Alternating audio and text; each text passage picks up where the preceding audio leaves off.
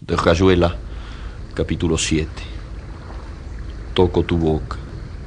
Con un dedo toco el borde de tu boca. Voy dibujándola como si saliera de mi mano, como si por primera vez tu boca se entreabriera. Y me basta cerrar los ojos para deshacerlo todo y recomenzar.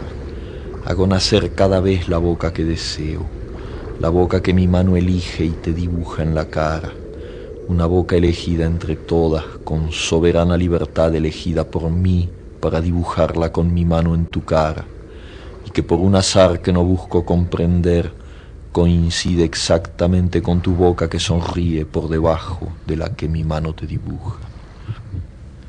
Me miras, de cerca me miras, cada vez más de cerca, y entonces jugamos al cíclope nos miramos cada vez más de cerca y los ojos se agrandan, se acercan entre sí, se superponen y los cíclopes se miran, respirando confundidos.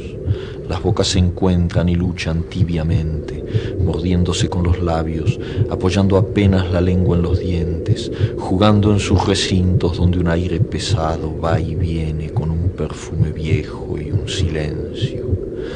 Entonces mis manos buscan hundirse en tu pelo, acariciar lentamente la profundidad de tu pelo mientras nos besamos, como si tuviéramos la boca llena de flores o de peces, de movimientos vivos, de fragancia oscura.